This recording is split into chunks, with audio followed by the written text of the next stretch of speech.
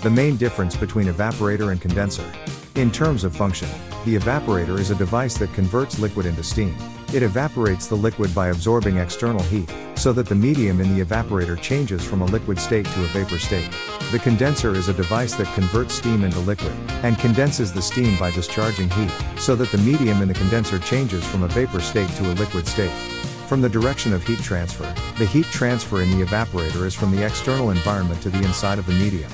That is, the liquid absorbs external heat and evaporates, thereby achieving the purpose of cooling the external environment.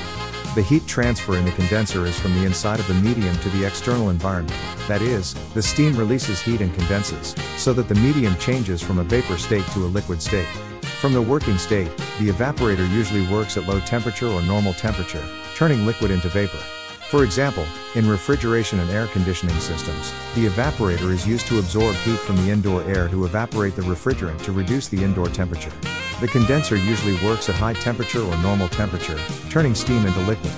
For example, in refrigeration and heating systems, the condenser is used to change the refrigerant or heat medium from vapor state to liquid state to release or obtain heat energy. In terms of structural design, the structural design of the evaporator and condenser is also different to adapt to different working functions and working conditions. Evaporators are usually designed with a large surface area to increase the heat transfer effect, and usually have a liquid inlet and a vapor outlet. But condensers are usually designed with a small surface area to reduce heat transfer effects, and usually have a vapor inlet and a liquid outlet. These are the main differences between evaporator and condenser. In practical applications, the selection of the appropriate type of evaporator and condenser is crucial to the performance and effect of the heat exchange system.